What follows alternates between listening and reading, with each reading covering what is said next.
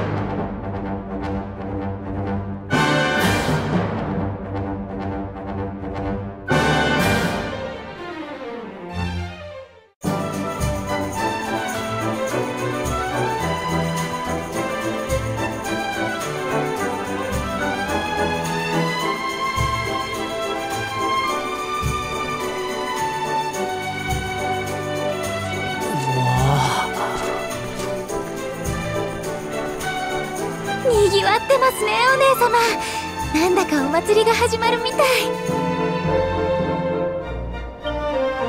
はんはんなるほどここサマディは騎士の国と呼ばれていてね。城の裏のオアシスの上にレース場があるの。そこで前にここに来た時年に一度特別なレースが開催されるって聞いたわ。きっと今はそれでにぎわってるのよ。馬のレースも面白そうだが俺たちの目的は大使の枝だからな。忘れんなよおちびちゃん。